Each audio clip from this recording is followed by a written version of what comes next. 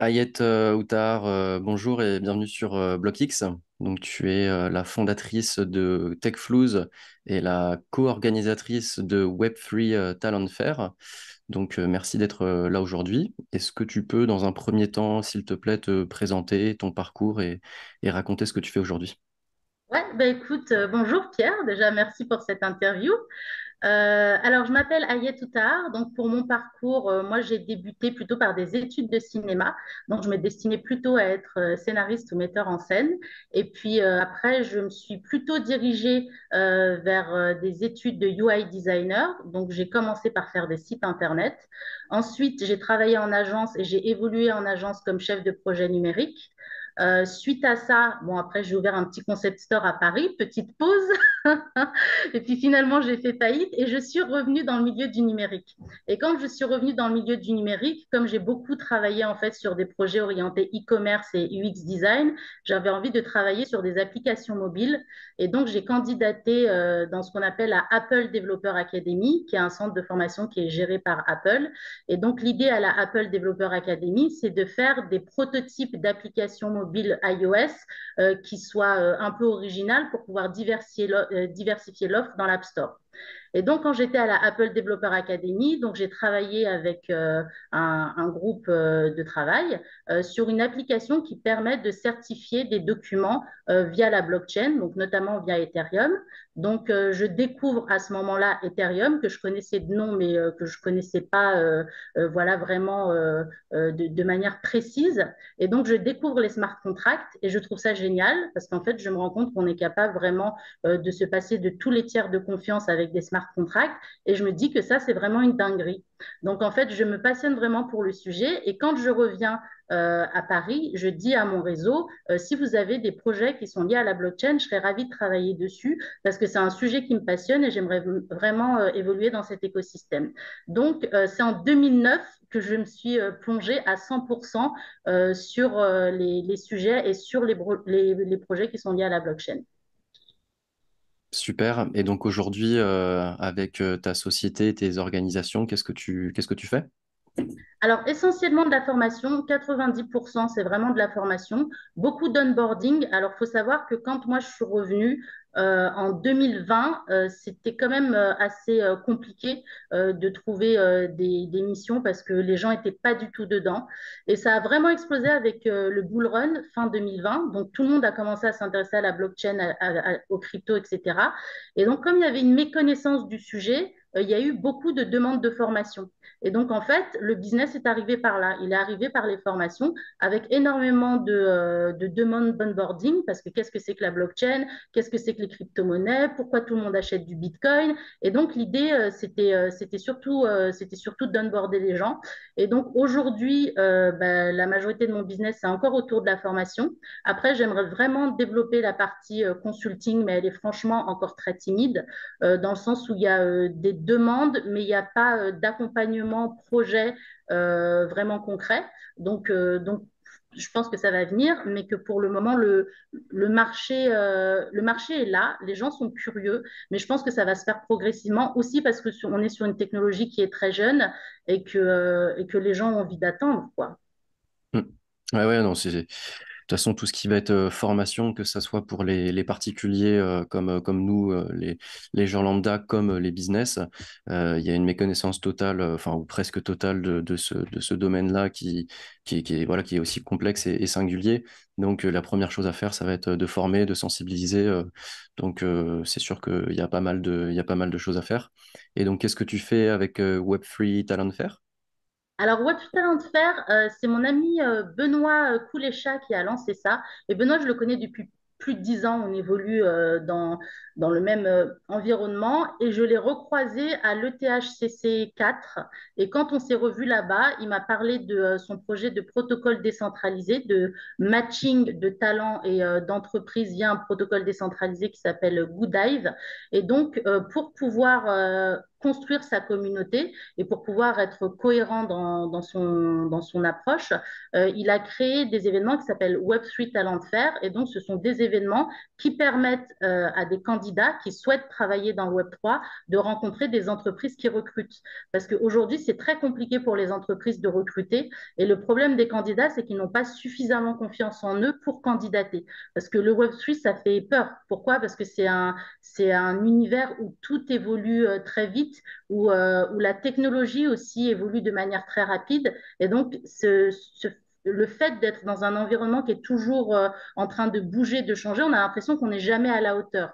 Et les entreprises ont du mal à recruter parce qu'elles cherchent des talents. Les candidats ont peur de candidater parce qu'ils pensent qu'ils ne sont pas à la hauteur et qu'ils n'ont pas le niveau. Et l'idée, justement, c'est de se faire rencontrer euh, ces deux mondes-là pour permettre aux entreprises de recruter des talents qui sont peut-être pas encore au niveau, mais qui sont motivés. Parce qu'il faut savoir que les entreprises sont prêtes à former en interne, tellement il manque euh, de, de talents dans ce secteur-là. Elles sont prêtes à prendre des juniors qu'elles vont ensuite accompagner, qu'elles vont former et ensuite qu'elles vont garder aussi en entreprise. C'est ça le but. Ouais. Oui, c'est pour ceux, pour ceux qui, pour ceux qui écoutent et qui regardent, et c'est vrai qu'ils se posent, qui peuvent se poser ce genre de questions-là. Euh, il n'y a pas besoin d'être, d'être un expert dans le domaine. Il n'y a pas besoin euh, d'avoir fait euh, une formation particulièrement informatique. Aujourd'hui, les entreprises, elles sont à partir du moment où on est motivé, et évidemment, la motivation, ça passe par des participations sur des, sur des projets Web3, blockchain, qui sont parfois accessibles, hein, simplement, par exemple, en, tant que modérateur ou autre. Il y a pas mal de façons de, de venir bah, mettre les mains dans le cambouis et puis donner des, donner des coups de pouce. Donc c'est très bien vu et c'est ce que je discutais avec Nathan euh, l'autre jour euh, d'Alira. Euh, les entreprises sont prêtes à former. Si vous êtes motivé par ce, par ce domaine-là, les, entreprises sont prêtes à former. Donc faut faut pas hésiter. de toute façon, ouais, passer des interviews et vous verrez comment ça se, comment ça se passe. Et on me dit dans l'oreillette que tu as coécrit un livre aussi? Oui, enfin, j'ai participé à un livre collaboratif qui s'appelle Wallcrypt euh, avec mon associé Glenn Roland, qui est ingénieur de recherche, qui est expert en, euh, données euh, personnelles et en cybersécurité. Et en fait, on travaille aussi ensemble avec Glenn parce que Glenn a l'expertise technique. Moi, j'ai une expertise qui est plutôt orientée usage et donc on se complète bien puisque à nous deux, on arrive vraiment à apporter, à apporter des connaissances qui sont complètes. Et avec Glenn, que je connais aussi depuis 12 ans, donc je le connais aussi depuis très longtemps. Et on est aussi passionné par bah, toute, toute la partie cypherpunks. Euh, toute la partie historique, la partie préhistoire euh, de Bitcoin, qui permet de comprendre la philosophie qu'il y a derrière Bitcoin et qui permet aussi euh, de remettre les objectifs de Bitcoin au centre, des discussions. Parce qu'aujourd'hui, quand on parle de Bitcoin, si on se réfère à ce que dit la presse, on va parler beaucoup de spéculation, on va toujours parler de, son prix, on va parler aussi parfois de l'aspect, on va dire, malhonnête qu'on peut faire euh, euh, à travers euh, l'usage de Bitcoin. Et en fait, on va oublier que Bitcoin, de base, c'est un projet libertaire qui a été conçu par, par euh, des, ingénieurs hautement expérimentés en cryptographie et que le but de Bitcoin, c'est de permettre à tout le monde aujourd'hui euh, de pouvoir euh, utiliser une monnaie, peu importe euh, la provenance sociale, peu importe le pays, euh, etc. Et donc, on oublie que Bitcoin, c'est une crypto-monnaie qui a été conçue pour l'ensemble euh, des gens sur cette planète et qu'elle permet surtout aux gens qui sont les moins privilégiés de pouvoir avoir accès euh, à, à, des finances, hein, parce qu'aujourd'hui, quand vous quand vous êtes SDF par exemple et que vous n'avez pas de fiche de paye, vous n'avez pas de domiciliation, vous ne pouvez pas ouvrir un compte en banque. Et il y a plein de gens aujourd'hui euh, qui n'ont pas accès à un compte en banque tout simplement parce qu'ils sont hors système. Et ce que permet Bitcoin, justement, ça permet de permettre à l'ensemble euh, des, des, gens qui, euh, qui évoluent euh, sur cette Terre, sur cette planète, de pouvoir avoir accès à des échanges et de pouvoir avoir accès à une finance personnelle qui ne soit pas gérée, qui ne soit pas maintenue par un État et avec des, des, des, conditions qui sont extrêmement lourdes pour des personnes qui, qui sont un peu voilà, hors système, dirons-nous. Ouais, ouais, ouais. Non, bah, j'ai pas les chiffres, j'ai pas les chiffres en tête, euh, mais le, taux de, personnes qui sont pas bancarisées euh, aujourd'hui dans le monde est énorme. Hein. particulièrement en Afrique, mais, mais, pas que. Donc ça, ça, Bitcoin peut venir, entre autres, bah, répondre à ce, à ce besoin-là. Et donc on arrive sur le sujet principal de, de l'interview. donc parmi tes sujets de prédilection, il y a ce mouvement, ce fameux mouvement cypherpunk. Euh, qui, est, étroitement lié euh, évidemment au Bitcoin, hein, parce que la, philosophie de Bitcoin s'inscrit euh, initialement à la genèse, à l'origine, sur ce mouvement de cypherpunk. Est-ce que tu peux nous en dire plus? Alors, si on regarde le mouvement cypherpunk, en réalité, il faut quand même remonter assez haut dans l'histoire. Alors, je pense qu'on peut remonter euh, au moins jusqu'à ARPANET. Alors, ARPANET, c'est l'ancêtre d'Internet et c'est ce qui a permis aussi euh, d'architecturer euh, Internet et de permettre aujourd'hui d'avoir des ordinateurs individuels qui puissent communiquer les uns avec les autres. Alors, si on reprend l'histoire d'ARPANET, alors ARPANET, c'est une commande qui a été faite par la euh, défense américaine en 1966. Euh, donc, ils travaillaient sur ce projet dans le plus grand secret, euh, puisqu'on était en pleine guerre froide. Et donc, en fait, ce, dont on a envie, voilà, ce qu'on a envie d'éviter, ce sont les, attaques russes. Et puis, on est, encore dans, un, dans une époque où il y a une grosse paranoïa parce que on, sort quand même d'une guerre mondiale, voilà, qui a traumatisé un peu tout le monde. Et donc, tous les États travaille euh, sur des projets qui permettent de pouvoir envoyer de l'information à distance et qui permettent en fait de pouvoir euh, organiser une défense militaire à travers des transferts d'informations. Et donc, Lee Kleider, euh, qui, a, euh, qui a conceptualisé aussi euh, le, fait de pouvoir avoir des ordinateurs qui communiquent entre eux et qui a écrit plusieurs documents qui théorisent l'échange d'informations à distance sur divers appareils, donc a été, a été on va dire, leader sur ce projet-là, donc sur ARPANET. Et donc, l'idée, c'est comment on fait pour envoyer de l'information à distance de manière sécurisé Puisque le but, quand on envoie de l'information à distance aussi, c'est que l'ennemi n'intercepte pas ce message et l'utilise ensuite contre vous.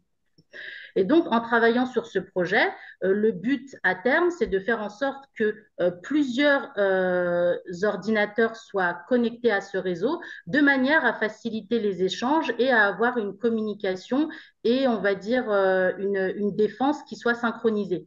Et le but aussi, c'est de pouvoir faire en sorte qu'à terme, ce réseau grossisse et donc forcément d'avoir des informations qui puissent se transmettre à différents moments et dans différentes localisations de manière extrêmement fluide. Et en fait, ARPANET, c'est euh, l'ancêtre d'Internet et c'est ce qui a permis ensuite euh, d'architecturer Internet aujourd'hui, qui est un ensemble de protocoles standardisés et qui permet euh, d'avoir cette possibilité d'avoir des, milliers d'ordinateurs en réseau qui puissent communiquer entre eux. Ouais, et donc là, on arrive sur, les, procédés de cryptographie qui ont été initialement bien avant le Bitcoin, euh, qui était utilisé, bah, comme tu le dis, bah, pendant la guerre, mais aussi euh, par les cypherpunks euh, entre eux. Quoi. Voilà, parce que si on arrive, donc là, on est plutôt dans, dans les années 60, donc, et quand on arrive euh, au début des années 90, donc là, on, a euh, la popularisation euh, de l'ordinateur individuel, et donc le, le, fait de devoir communiquer à distance, c'est plus seulement un enjeu pour les entreprises ou pour les gouvernements, mais on est en train de rentrer dans un usage qui va devenir quotidien et qui va se développer. Et donc, dans les années 90, euh, donc on a ces cryptographes euh, qui sont hautement qualifiés euh, dans, dans, leur métier, qui sont aussi extrêmement reconnus, qui se posent la question et qui se disent OK, mais si demain tout le monde a un ordinateur personnel, que tout le monde s'échange de l'information en réseau, ça devient un problème parce que ça veut dire que l'information, elle peut être interceptée par les gouvernements et elle peut être interceptée aussi par des acteurs économiques. Et ces données, à partir du moment où elles sont récoltées, elles peuvent être utilisées à mauvais escient. Et en fait, ça, ça va euh, contre les libertés individuelles, parce que quand on s'échange euh, de l'information à distance, on a envie que l'information reste confidentielle. Et donc, les cypherpunks vont commencer à s'organiser. Donc, ils vont s'organiser euh, en groupe et ils vont créer une newsletter qui va s'appeler la newsletter des cypherpunks. Et le but, c'est d'échanger entre eux sur des projets qui vont être destinés euh, à, créer euh, des, des, canaux de communication qui vont qui vont utiliser la cryptographie et qui vont permettre de pouvoir s'échanger à distance de l'information, mais de manière secrète. Il faut savoir que euh, à l'époque, c'est extrêmement audacieux de faire ça parce que s'échanger de l'information à distance de manière cryptographiée, euh, c'était considéré comme de la cybercriminalité. Parce que si vous n'aviez rien à cacher, il n'y avait aucune raison que vous cachiez. Euh, que vous cachiez vos communications. Et les cypherpunks, ils se disent, mais normalement, le fait de pouvoir avoir des, des conversations 100% confidentielles, ça devrait être un droit pour tout le monde. Et donc, ils travaillent sur ça. Et parmi tous les projets euh, qui sont développés au sein de la communauté Cypherpunk, il y a aussi euh, des projets de euh, crypto-monnaie. Et donc, dans ce groupe de cypherpunk, il n'y a, que, des personnes extrêmement réputées dans, leur domaine. On a notamment David Chaum, qui est un cryptographe très connu, et lui qui a développé dans les années 90, début des années 90, un projet qui s'appelle DigiCash. Et c'est considéré comme le premier projet de, crypto-monnaie connu. Et le problème de DigiCash, c'est que c'était géré par l'entreprise de David Chaume qui s'appelait aussi DigiCash. Donc, ça a utilisé des procédés cryptographiques pour pouvoir euh, voilà, faire euh, des, échanges. Euh, financiers. Mais le problème de DigiCash, c'est que c'était centralisé. Tout simplement, c'était centralisé par l'entreprise qui permettait ce service-là. Donc, comme il n'y avait pas la promesse de décentralisation et que là, pareil, en fait, les données, les données étaient, étaient récupérées hein, par DigiCash, donc il y avait une traçabilité qui était centralisée. Euh, ça n'a pas eu euh, euh, l'effet voulu et donc l'entreprise a fermé pas longtemps après, je ne sais plus quand, mais il me semble que c'était fin des années 90, il me semble 98, quelque chose comme ça. Et la même année, en 98, donc on a un autre cryptographe qui fait aussi partie de la newsletter des cypherpunk, qui s'appelle Nick Zabo, qui a notamment travaillé avec David Chaum sur DigiCash. Et lui, il lance BitGold. Et en fait, Bill Gold, euh, BitGold, dans l'histoire, euh, dans l'histoire des crypto-monnaies, c'est considéré comme le projet qui se rapproche le plus de l'architecture de Bitcoin aujourd'hui. Donc, dans son projet BitGold, lui, justement, il s'est dit ce qui ne fonctionnait pas avec DigiCash, c'était le fait euh, que la crypto-monnaie soit centralisée, donc par une entreprise. Et en fait, ce qu'on veut, si on veut réellement créer une, une crypto-monnaie, euh, qui soit euh, euh, voilà qui soit qui soit efficiente il faudrait qu'on arrive à la décentraliser et donc Nick Szabo il commence notamment à, travailler sur une architecture décentralisée et notamment toute la partie proof of work qu'utilise aujourd'hui Bitcoin dans son architecture est directement inspirée de, des travaux de Nick Szabo. Alors, on pense comme ça parce qu'en réalité, dans son premier, enfin dans, le white paper qui a été sorti en 2008, Satoshi Nakamoto n'avait pas crédité Nixabo sur, euh, sur, euh, sur la partie proof of work, mais euh, il me semble que dans un forum, il avait reconnu plus tard effectivement que les architectures de ce point de vue-là étaient extrêmement similaires et que BitGold pouvait être considéré comme le précurseur direct de, de Bitcoin. Et donc, le, le, projet de ces cypherpunks, c'est de se dire que avec euh, la technologie aujourd'hui qui permet à chacun de faire euh, des, échanges en ligne, l'idée c'est de populariser les échanges en peer-to-peer et de pouvoir se passer euh, au maximum de tiers de confiance. Et on se dit que aujourd'hui, en termes de, force et de pouvoir, la, centralisation du pouvoir, elle se fait principalement par l'argent. Et qu'en fait, si on arrive à décentraliser la monnaie, on arrive à avoir un, contre-pouvoir et on arriverait à vivre dans une démocratie qui soit saine. Parce qu'en fait, il faut savoir que euh, dans Bitcoin, il y a quand même euh, philosophiquement, euh, il, y a, des valeurs crypto-anarchistes et crypto-libertaires qui sont, qui sont fortes. Et l'idée, c'est de se dire, si on arrive à vivre euh, dans un monde où on est tous égaux, dans un monde où personne ne serait mis à côté, on devrait être capable aussi de permettre à chacun euh, de pouvoir utiliser un moyen d'échange sans dépendre de l'État. Donc effectivement, là, donc, ce, que tu nous, ce que tu nous racontes, c'est qu'il euh, il y, a eu Bitcoin n'est pas arrivé du, alors, du jour au lendemain, en fait, la technologie, elle existait, elle existait déjà. Il y a des projets euh, antérieurs à Bitcoin qui se sont développés, mais qui n'ont jamais euh, réellement réussi à aboutir euh, dans leur finalité. Et c'est vrai que comme, comme, comme tu dis, tout l'aspect cypherpunk et, anarchiste hein, de, Bitcoin, comme on peut le voir enfin, à travers les, récits de Satoshi Nakamoto et puis ce, qui, ce qui est indiqué dans, dans le white paper, est arrivé à un moment très particulier donc, en, en, 2008 avec la crise qu'on a eue aux États-Unis. si tu veux embrayer dessus. Ouais, ok, mais je vais embrayer dessus.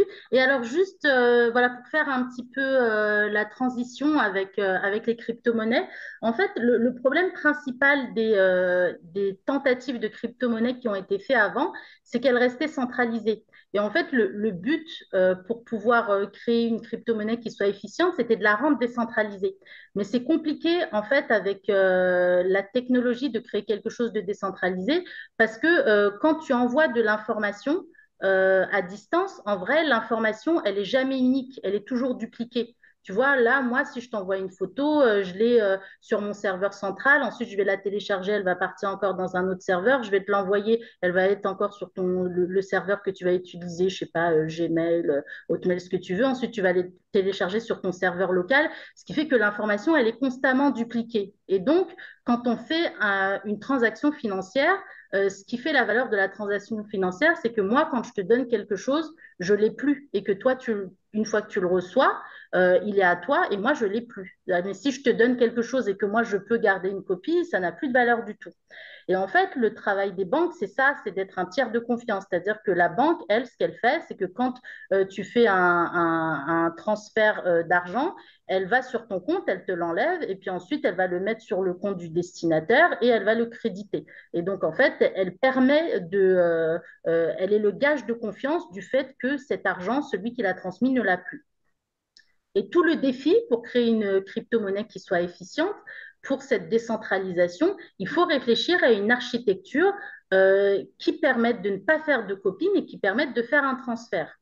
Et en fait, là où Bitcoin est, révolutionnaire et arrive avec, euh, avec euh, une idée euh, qui permette vraiment de concrétiser les objectifs des cypherpunks, c'est qu'avec la blockchain, en se disant on a un registre qui est transparent, qui est public et on a des, des, des serveurs qui sont décentralisés pour pouvoir sauvegarder cette information, ça fait que quand tu transmets une information via la blockchain, en fait, elle est transmise euh, une fois, elle est validée par l'ensemble du réseau, tout le monde peut la voir et on n'a plus besoin euh, de, tiers de confiance parce que le tiers de confiance, c'est le registre et la transparence de ce registre. Et donc, en fait, c'est comme si tu avais euh, un fichier Excel que personne ne pouvait modifier, que tout le monde pouvait consulter et que tout le monde a validé. Et donc, en fait, quand tu as ce registre-là, euh, tu, ne dupliques plus l'information puisque l'information est publique, est transparente, elle est non modifiable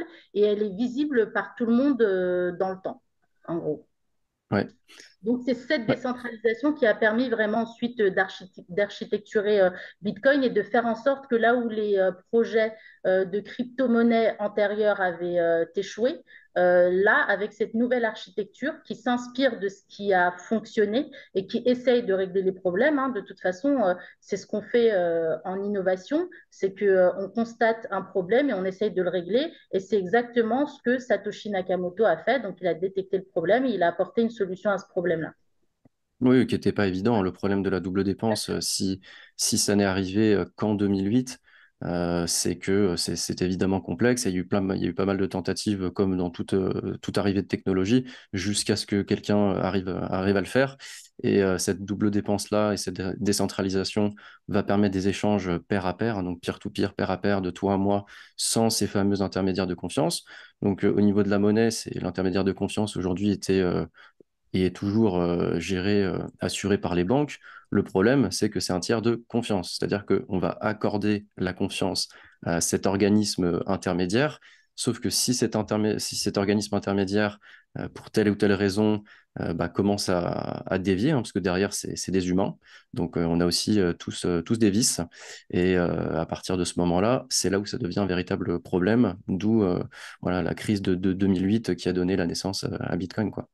Exactement. Donc, euh, en fait, Bitcoin, ça tombait vraiment bien en 2008, puisque effectivement, avec la crise des subprimes, ça prenait vraiment euh, tout son sens.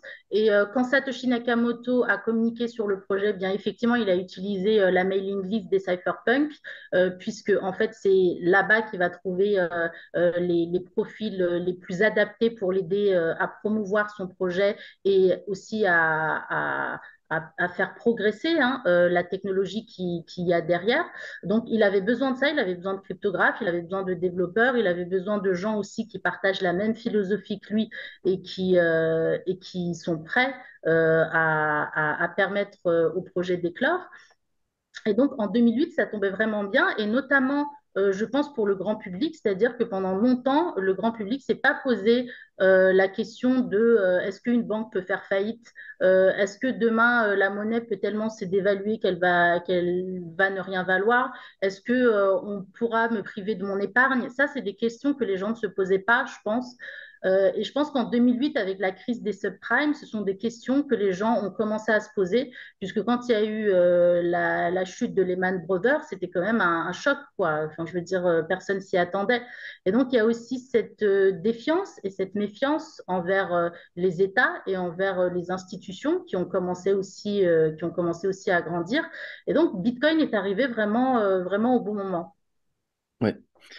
Bah justement, c'est sûr que c'est un bon exemple. Hein. C'est qu'on s'est arrivé au moment de la crise des subprimes qui a, qui a littéralement créé un, tsunami euh, euh, économique, pas seulement aux États-Unis. Hein. Il y a eu des répercussions partout à travers le monde et ça, ça a duré. On a du mal. Puis on, est encore en train de traîner euh, le, fardeau qu'on a du mal à qu'on a du mal à, à, éponger hein, concrètement.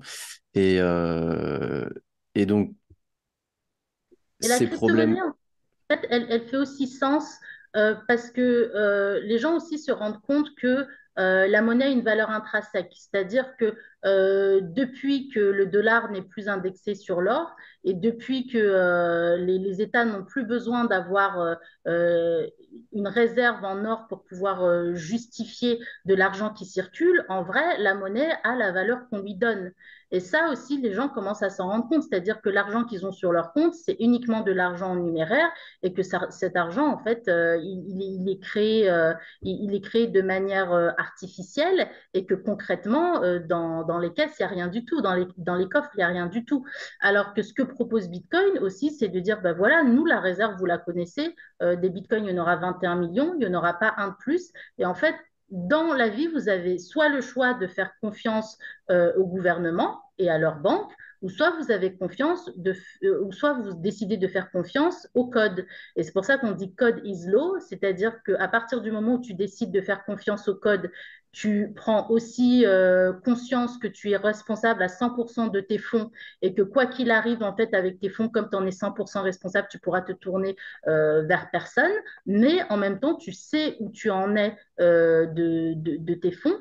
tu sais que tu peux les utiliser sans, sans contrainte. Si tu veux faire un transfert, je ne sais pas, à un, récepteur qui est euh, à des kilomètres de chez toi, tu peux le faire et personne ne va rien te dire. quoi. Alors que si tu vas dans ta banque et que tu veux faire un, transfert qui est euh, très lourd à une personne qui habite à l'autre bout du monde, on va te demander plein de justificatifs. Donc en fait, tu n'es même pas euh, propriétaire de ton propre argent quand il est à la banque. Donc il y a ça aussi euh, qui, permet, euh, qui, permet au concept de Bitcoin de pouvoir s'imposer auprès de, du grand public, c'est de dire avec des crypto-monnaies, vous êtes responsable de votre argent, mais vous êtes aussi propriétaire de votre argent, alors que vous mm. ne le serez jamais avec de l'argent qui sera, qui sera placé dans une banque.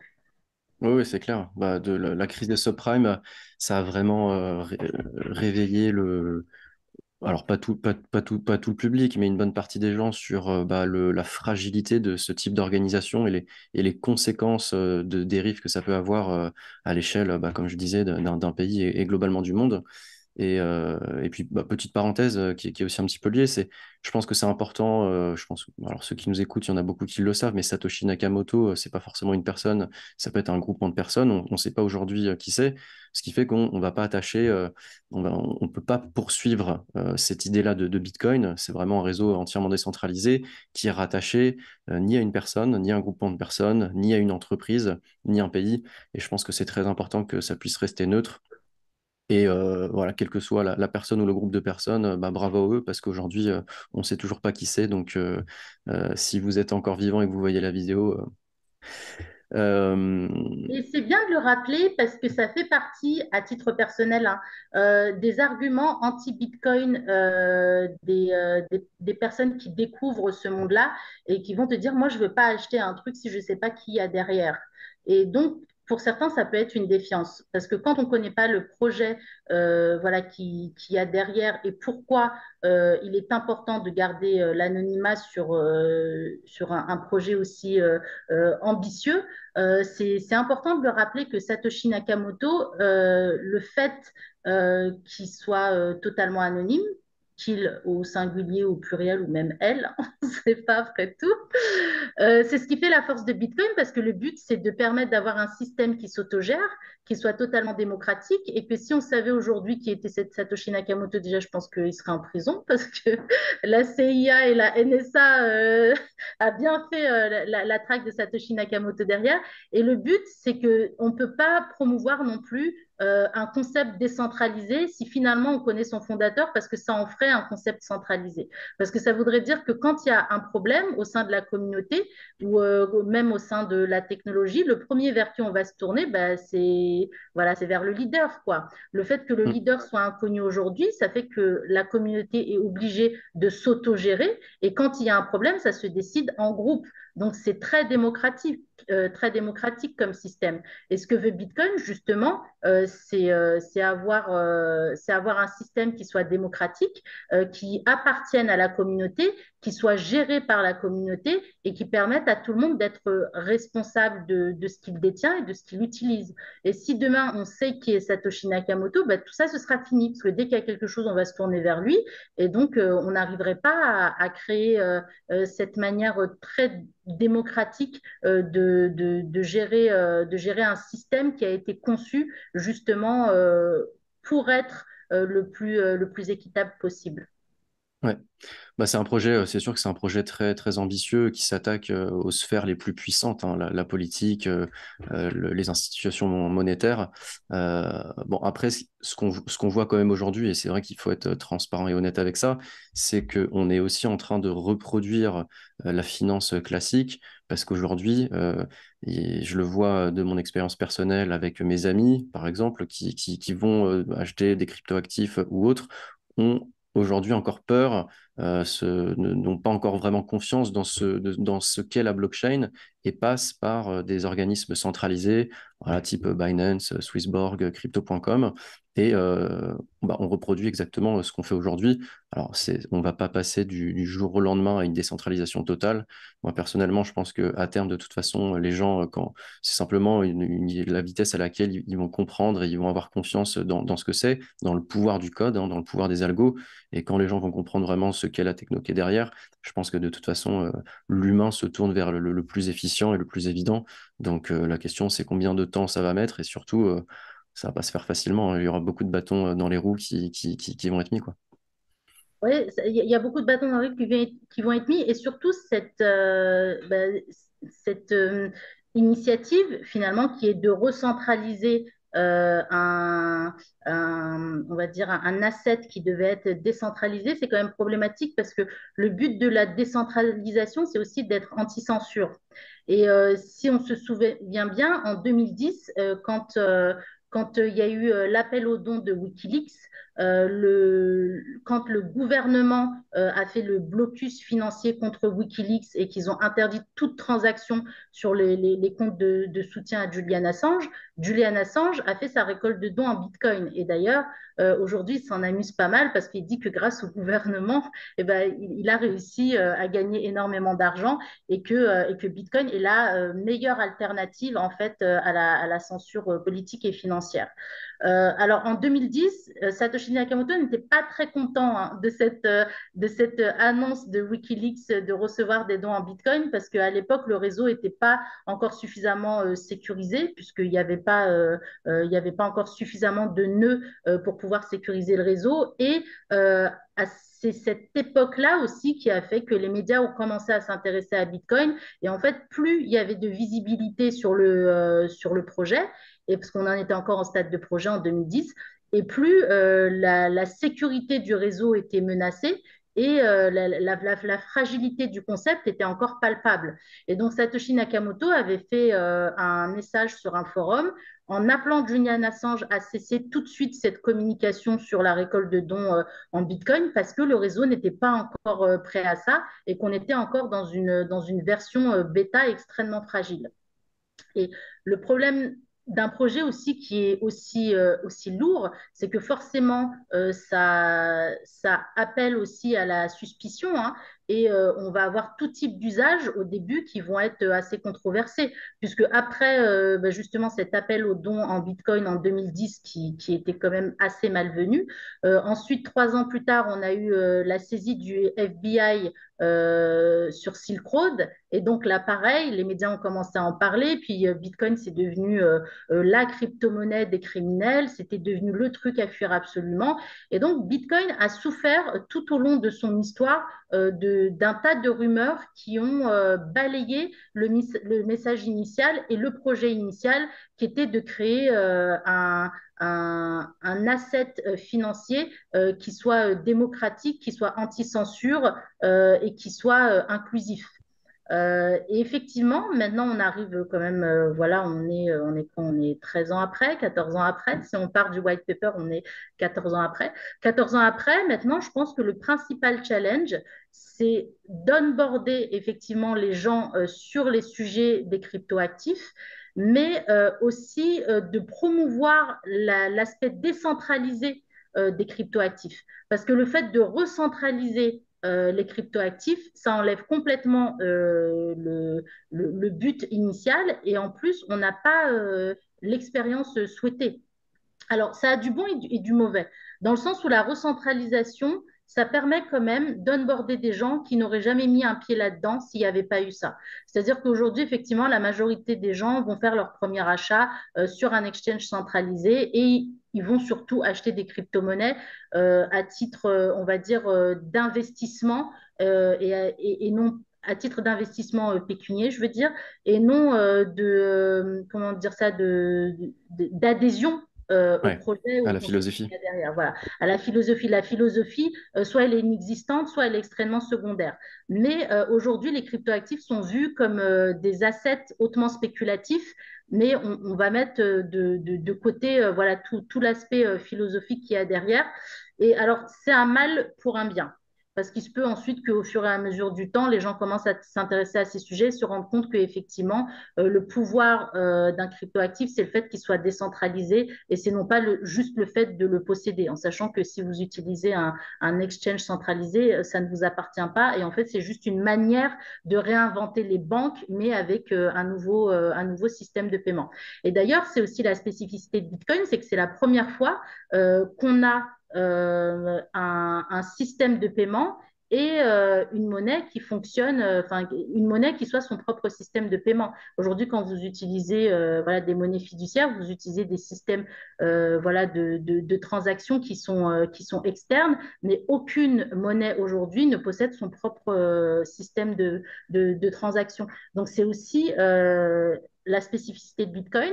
Et c'est amusant aussi parce que euh, les fondateurs de, euh, de, PayPal ont dit euh, que quand ils ont créé PayPal, leur but justement, c'était de faire ce que Bitcoin avait fait. Oui, donc PayPal, Elon Musk hein, qui travaillait chez, qui, a, monté PayPal, il y en a aussi qui, qui racontent que peut-être qu'Elon Musk serait Satoshi Nakamoto. J'y crois pas une seconde. Ok, et eh ben on va terminer là-dessus. Euh, Ayat, c'est sûr que c'est toujours frustrant, mais pour garder les 30 minutes, euh, pour pas que ça soit trop long, de toute façon, euh, t'es, là, là, tu viens quand tu veux sur la chaîne, et c'était un plaisir de pouvoir, de pouvoir échanger avec toi.